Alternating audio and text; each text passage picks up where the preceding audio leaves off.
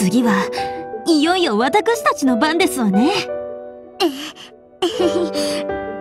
かりマチュク食べれちゃったわよ。そんなこと言ってまた足がガクガク震えてるわよ。だからこれは武者震いよ。大丈夫だよみんな。衣装も似合ってるしあんなに特訓したんだから緊張しないで。そうよこれくらいあのホラー映画の怖さに比べればどうってことないわ？そうよね。あの時の無にったら。な何よ？いきなり。だって無に一人で大騒ぎして。椿さん笑っては失礼ですよ。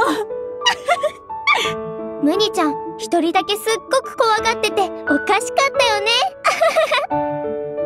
と笑いすぎでしょ失礼ねそれにあんたたち本番前なんだから少しは緊張感を持ちなさいよ。緊張感を。最後の皆さん出番ですよ。あらもう出番なのね。よしそれじゃあみんな行くわよ。はい。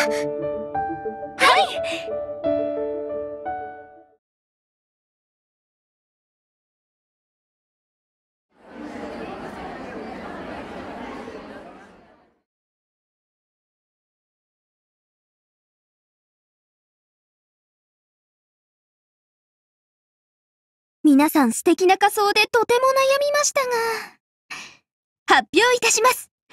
今年の優勝者は、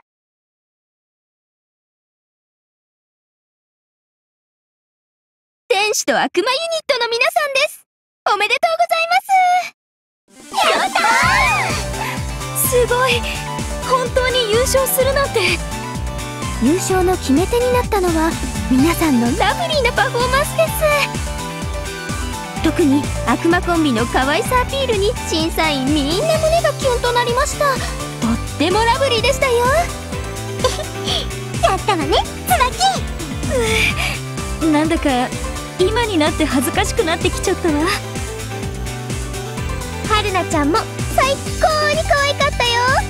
これも皆さんのおかげです。なんだか自分でも一皮むけたような気がします。そうねこれで葵にいいプレゼントが。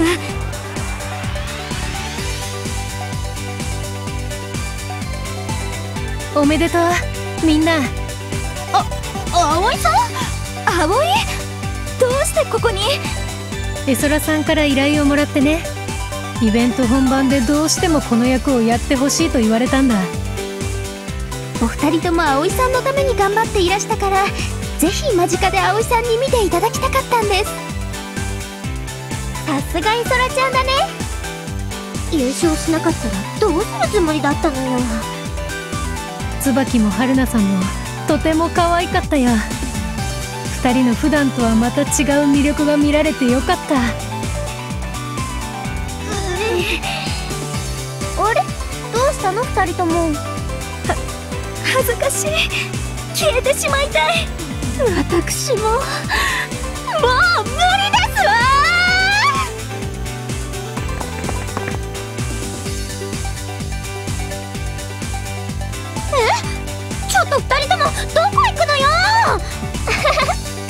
やっぱり相変わらずだねあの2人。